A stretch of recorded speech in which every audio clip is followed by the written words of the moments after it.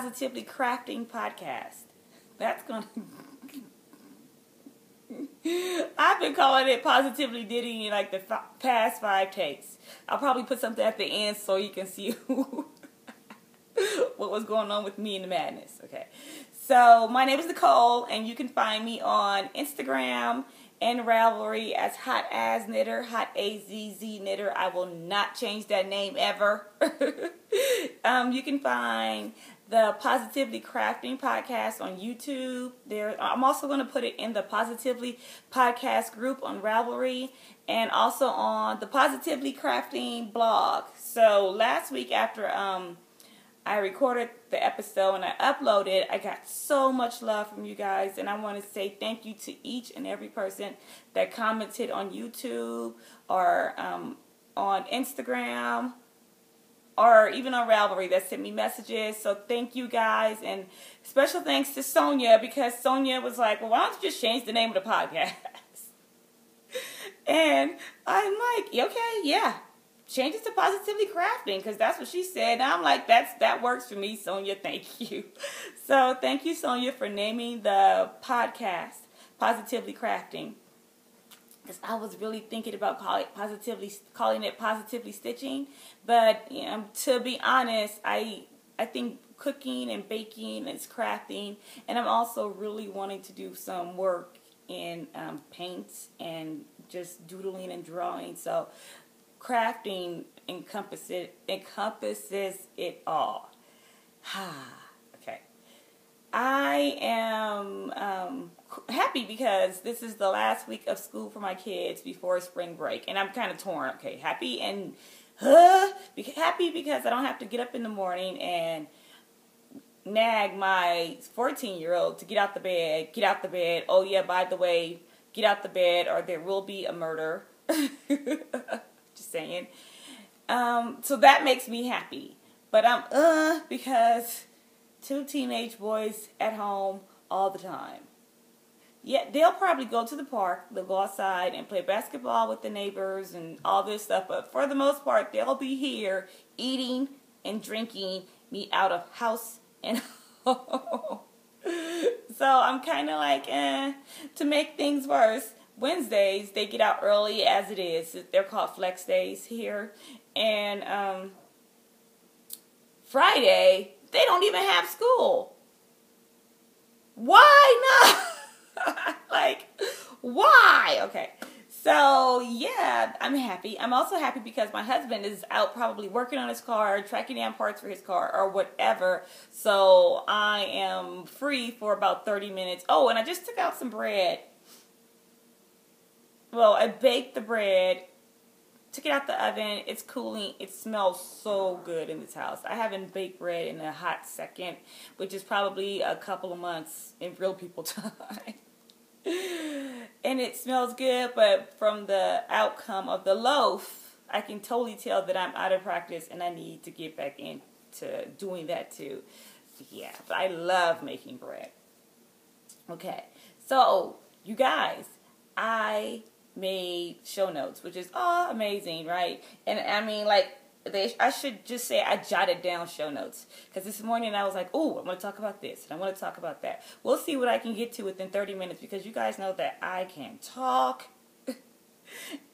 so we'll get through what we can get through. I want to tell you guys all the things. You want to hear all the things. So what I jotted down are just really, really basic sock fabric bread next episode.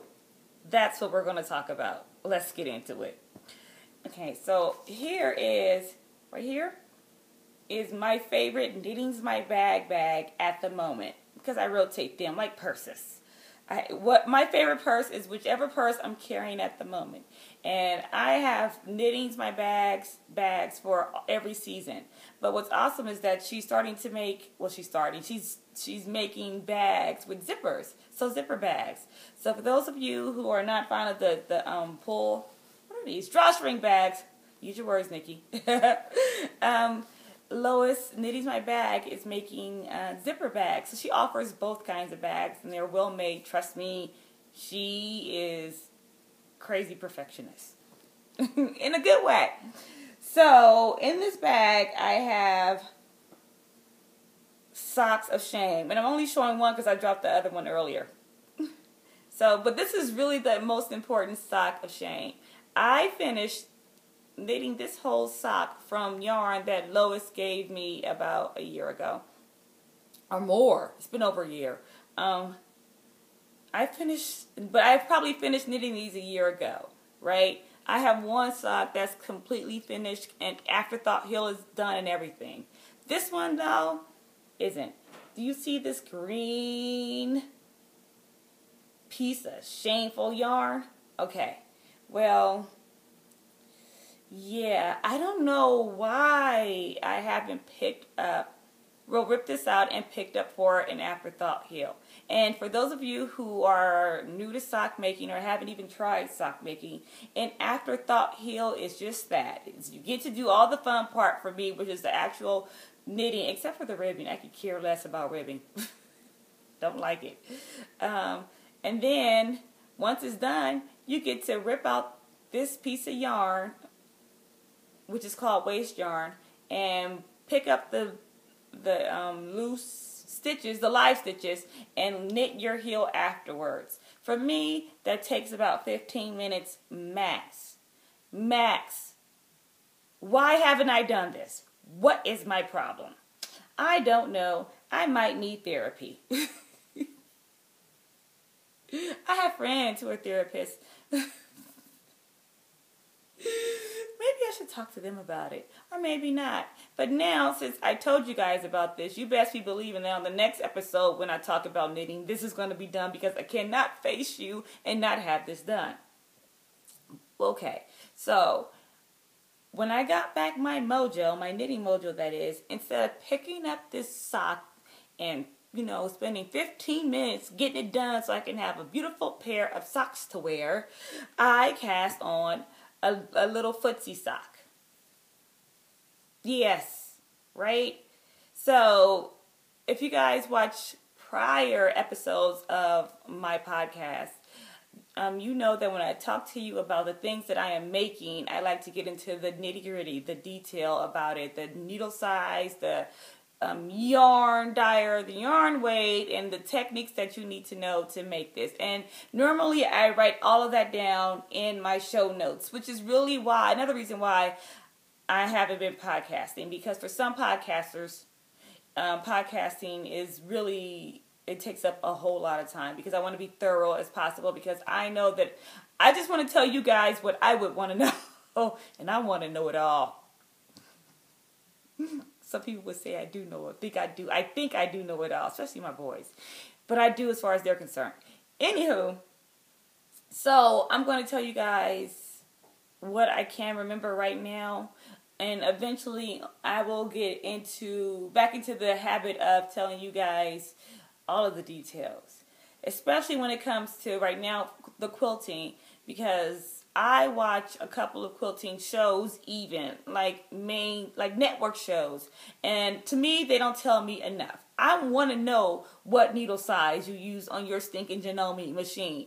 Like, you don't need a Janome, but it would be super helpful if I would know if it was an 8012 or 9014 or micro, like seriously, but that's just probably the nerdy me. But okay, here.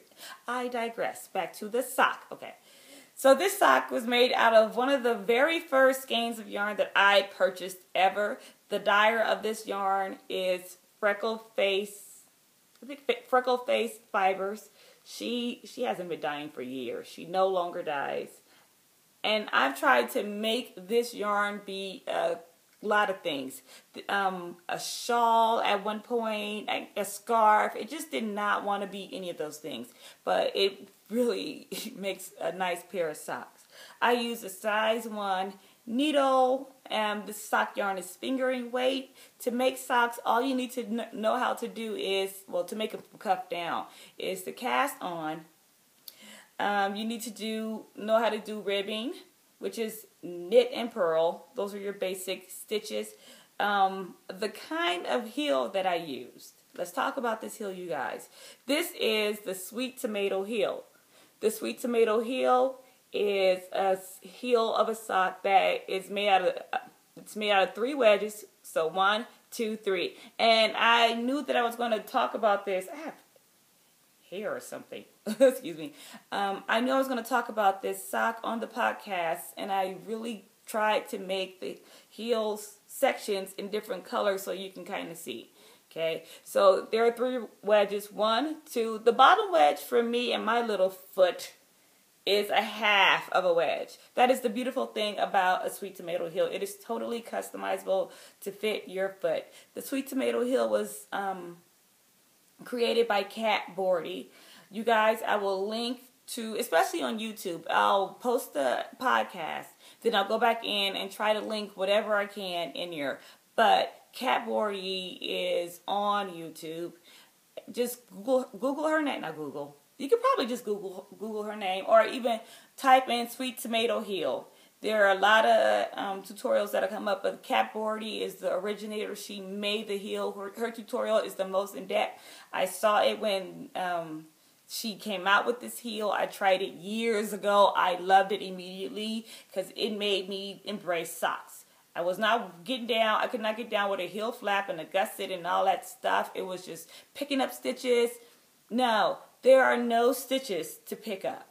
None. It is integrated. You do your short rows, and they don't even seem like short rows, but they are. They're a beautiful short row. So you basically work your short rows, um, and and those are nothing. You're you're not even there is no wrap and turn involved. You just stop, turn around, and go back the other way.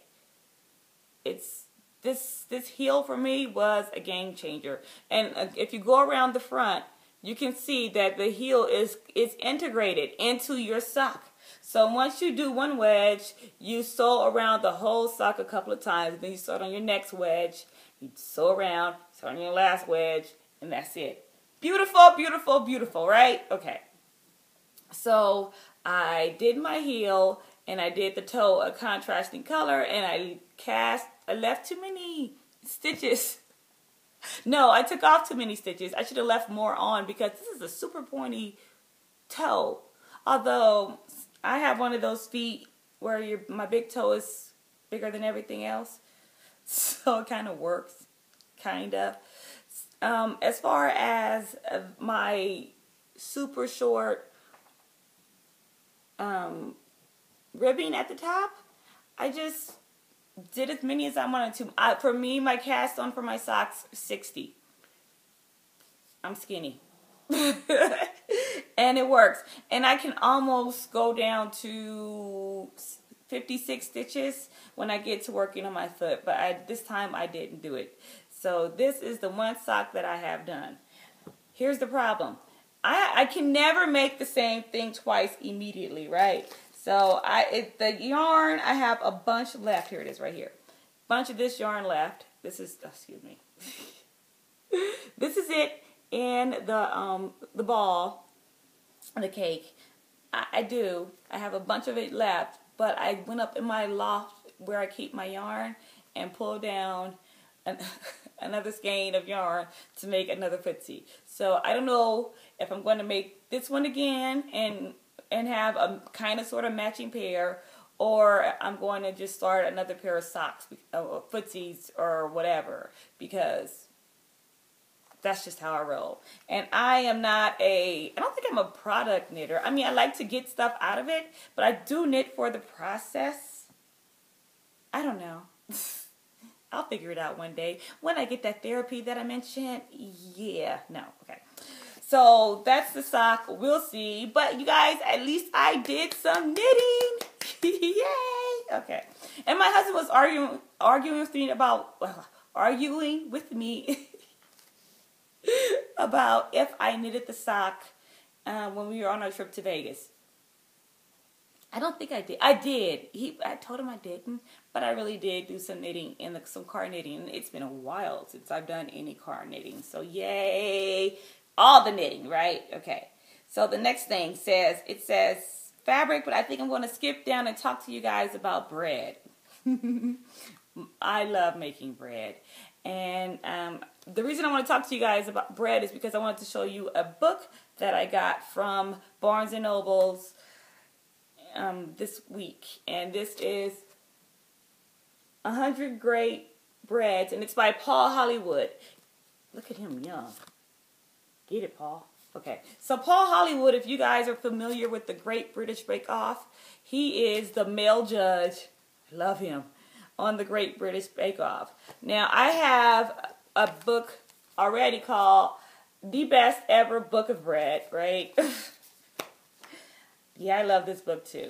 But I could not pass up a book by Paul Hollywood in Barnes & Nobles. And the price, it was only $7.98.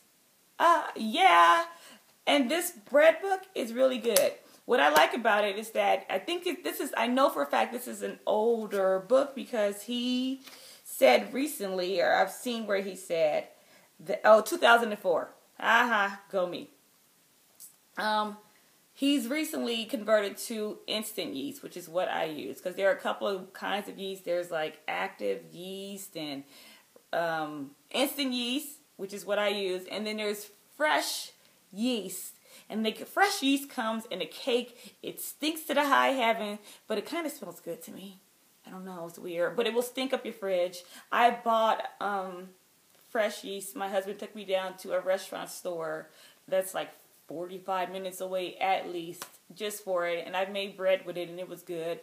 But um, he doesn't use fresh yeast anymore. But in this book, when he was just exclusively using fresh yeast, he tells you to reduce the amount of, um, if you're using instant yeast, which is what I use, to reduce it by 25%. Yeah, that's some math I have to do. Thank God for calculators and teenagers that are going to be home for spring break. Maybe I'll have Nick sit down with his calculator and go through every recipe. and write how much yeast, instant yeast I should use. So yeah, this book is so good. I haven't made anything from it yet. I've seen a couple of things I might make. One of them is um, the Irish soda bread, which is bread that is made from baking soda. That's the name, right? Um, I have a cousin Stay with me, you guys, okay? So, my cousin's daughter, and I have a second cousin. She goes to the high school with my kids. She's a year ahead of Jason, so she's a junior. She'll be a senior next year. She has a teacher who is Irish, and because this is around the time, oh, yeah, this Thursday, as a matter of fact, is St. Patrick's Day. The kids are having a party, her class, and um, they are in competition to make the best party with the best Irish theme, but he doesn't want it to be just green and no leprechauns because he doesn't want any leprechauns. And I'm thinking that one of the things to help put her class over the top would be to make a batch of Irish soda bread and send it with her to school. Also, Irish soda bread does not take long at all.